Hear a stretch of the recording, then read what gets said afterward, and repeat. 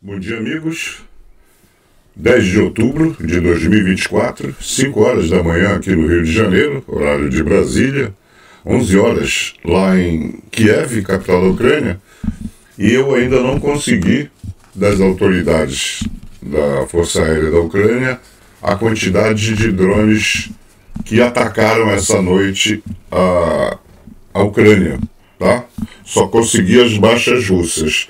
O negócio está complicado, inclusive, Mergulhinha pede desculpa, mas hoje ela não conseguiu nem preparar a relação de, de abraços, né? Nazaré de Carvalho, Márcio de Manaus, essa turma toda. Amanhã a gente conserta isso, porque o negócio está complicado, porque nessa madrugada foram atacados vários, vários alvos e, como algumas informações ainda estão desencontradas essa manhã, fica complicado. Deixa eu ver aqui se vocês veem o cursor. Não. Pronto, o cursor apareceu, tá vendo? Aqui embaixo é uma, um campo de Kasnaya. É uma base aérea de Ranskaya, desculpe, tá? Então, fica perto de Maikop. Os drones ucranianos atacaram essa base aérea essa noite. Agora, o, o, a mais sensação que todos os Telegram estão comentando foi aqui a base de Shahid, na vila de Oktyabrsky, no Krai de Krasnodar, lá em Cuba. Tá? Então aqui tinha uma base que armazenava Shahid, tinha para ser pelo menos 400 Shahids 136 armazenados e tudo foi para o espaço. Então, basicamente, é isso que tem. As baixas de hoje, do, do, do lado russo, eu tenho. Né? Não tenho é aquela tela azul marinho, aquela tela escura, que mostrava o, os drones que atacaram. Se atacaram, né? Porque até agora eu não consegui informação do que foi atacado, a não ser aquele bombardeamento da linha de frente, está vendo? Esse bombardeamento aqui que não mora, aqui por exemplo, uma pessoa morta em consequência de ataque de drone na cidade de Kherson. Então teve ataque de drone, eu não tenho ainda essa, essa relação. Quanto às baixas, 1.080 soldados russos, um tanque, 14 blindados de transporte de tropa, 41 sistemas de artilharia, dois lançadores múltiplos de foguetes e três sistemas antiaéreo. Então, basicamente é isso. Antes de rodar a vinheta, vou mostrar aí alguns filmes dessa base de Shahid que foi atacada essa noite. E eis que uma série de explosões secundárias atinge uma instalação de armazenamento russa que abriga centenas de drones de ataque Shahid 136. Fontes dizem que mais de 400 drones estavam estocados lá e tudo sumiu com ataque preciso de HIMARS. Arsenal de munições na base aérea de Kranskaya destruído por drones ucranianos durante a noite. As explosões continuam agora pela manhã.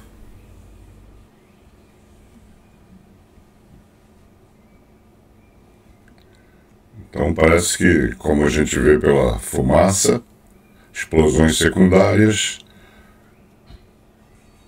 o negócio foi feio. É bom porque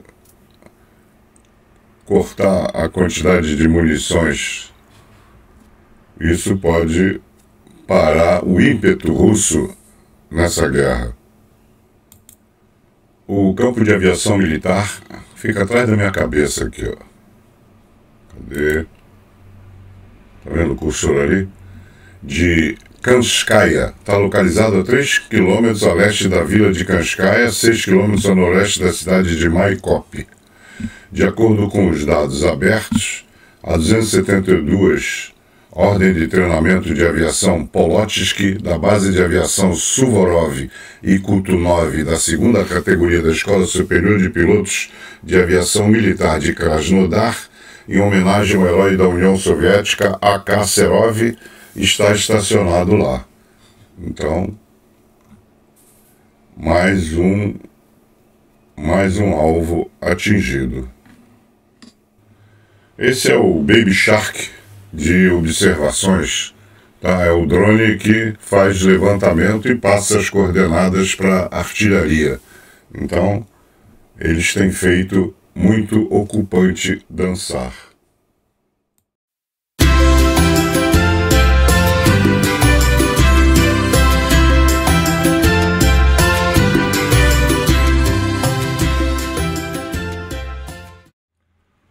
Hoje ainda só se falam dos depósitos atacados, né?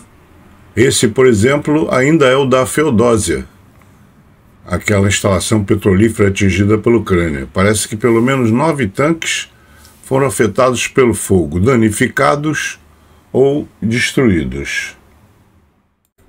O presidente Macron declarou: Assumi esse compromisso. Nesse momento, os nossos militares estão treinando 2.300 soldados ucranianos no Grande Leste, com equipamento que utilizarão nas missões.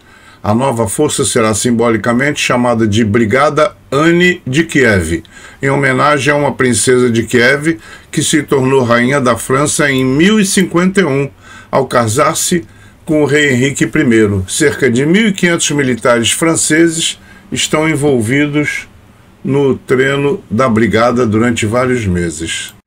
Já falei que a Hungria é aliada de primeira hora, é capacho do Putin e está só atrapalhando a vida da Ucrânia. Então, olha só o que que, que, que disse o Peter Szijjarto, tá? primeiro-ministro húngaro.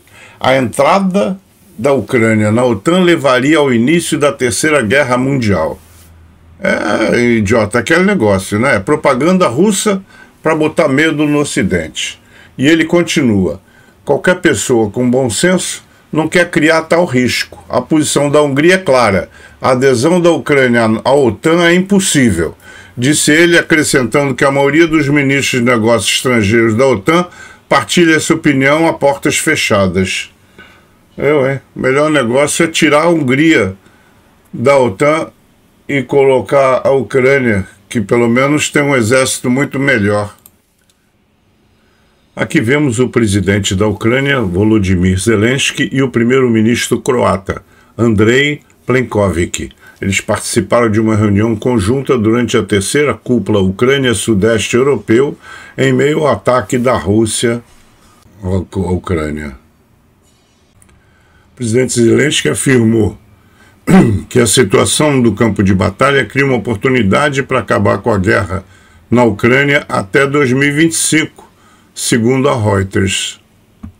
Em outubro, novembro e dezembro, temos oportunidade de avançar em direção à paz e à estabilidade a longo prazo. Quer dizer, palavras bem diferentes do que disse o primeiro-ministro da Hungria. O presidente Zelensky está em Roma, onde terá uma reunião com a primeira-ministra Giorgia Meloni. Ele também terá uma audiência com o Papa na manhã de sexta-feira, segundo fontes. Um homem tentou detonar um dispositivo explosivo improvisado no prédio do Ministério do Interior russo, na região de Smolensk, disfarçado como uma pasta de documentos. Durante sua prisão, ele ficou ferido e dois policiais sofreram concussões, segundo agências russas citando o FSB. A Ucrânia confiscou o navio de carga Usko Emiafil, informa o Serviço Estadual de Guarda de Fronteiras. O navio, sob bandeira camaronesa, entrou ilegalmente nos portos da Crimeia ocupada para atividades comerciais. Foi detido em Odessa pela Segurança Marítima e transferido para a propriedade do Estado por ordem judicial. O capitão enfrenta acusações por violar as leis de entrada nos territórios ocupados. Enquanto isso, Lukashenko agradeceu a Putin pela Ordem de Santo André, conhecida como o primeiro chamado, afirmando que vê o prêmio como um reconhecimento pelas conquistas de todo o povo bielorrusso. Tadinho, o povo não tem culpa disso. Assinamos um acordo de apoio e cooperação de longo prazo entre nossos países, disse Zelensky após se reunir com o primeiro-ministro croata Andrei Plenkovic. Temas principais: ajuda e cooperação no domínio da defesa, desminagem humanitária, reabilitação de crianças e soldados feridos, reconstrução da Ucrânia integração europeia. Essa desminagem humanitária é muito importante. Países como inclusive Angola, que frequentam o nosso canal, sofreram isso e muitas e muitas crianças ficaram mutiladas depois de, de, de, de guerras e conflitos por causa de justamente minas esquecidas, né? Então, o campo de batalha está todo cheio de mina. Quando vier a paz, passado 10, 20 anos, as pessoas esquecem que aquela região foi um, um palco de, de, de combate e se Minas ficarem esquecidas, irão mutilar os futuros moradores. O chefe do GUR, Kirilo Budanov, participou pessoalmente da operação em Volchansk e liderou a operação da planta agregada, de acordo com o oficial da inteligência Linux. Kirilo Oleksievich esteve conosco numa fase chave durante vários dias, supervisionando diretamente a missão. Isso motiva os combatentes, disse ele. O canal russo Dois Majores afirma que na região de Kursk as forças russas conseguiram recapturar Pokrovsk, perto de Lubimovka, e Novaya Sorokina, perto de Pogrebit. Esse último, em particular, eu duvido muito. Nenhuma dessas duas cidades foram confirmadas. Um par de MiG-29 ucranianos da 204 Brigada de Aviação Tática, do centésima quarta Brigada de Aviação Tática. Um mural foi criado em Kharkiv, dedicado aos soldados mortos da unidade militar Kraken. Em Kharkiv, eles concluíram o trabalho em um mural dedicado a dois soldados caídos da Unidade Especial Militar Kraken, Andriy Kripunov, com indicativo Psik, e um lutador com indicativo Visnik. Ele está colocado na parede de um dos edifícios em 12 Klassinchny Lane. Quando criamos os nossos murais, tentamos aprender o máximo possível sobre as pessoas que pintamos, para contar mais sobre elas no nosso trabalho, diz uma das criadoras do mural, chefe do grupo criativo, Iana Volk. Então, amigos, como eu disse no início, a noite está complicada e eu ainda não consegui. A baixinha tem que correr para o trabalho, tá? Ontem ela trabalhou home office, mas o trabalho estava pesado, ela não conseguiu fazer relação de abraços. Então, fica aqui o abraço genérico a todos aqueles amigos que nos prestigiaram. Eu tinha duas matérias que eu não sei se dou ou não dou, porque eu não consegui confirmação. Nenhum canal Telegram falou nisso. Mas eu vi dois vídeos no YouTube comentando que dois F-16 da Ucrânia afundaram três navios que transportava um total de 500 mil toneladas de munição de arma curta, fuzil, metralhadora, essas coisas. Não consegui confirmação. Se foi no, no, ali no, no Mar Negro, né? Então, no mapa vocês viram que não tem nada assinalado no Mar Negro. No Telegram ninguém comentou sobre isso, foram apenas dois vídeos diferentes. Eu procurei, inclusive, não, não tô, não tô achando. Pode ser que no decorrer do dia alguém saiba ou e, e divulgue isso. Aí fica mais fácil. Então, um abraço para todo mundo. Não esqueçam, por favor, daquele like da sobrevivência. Quem é antigo no canal sabe o que é que eu estou falando. Quem é novo vai aprender um dia. E até amanhã, se Deus quiser. Deixa eu correr que a coisa tá pegando.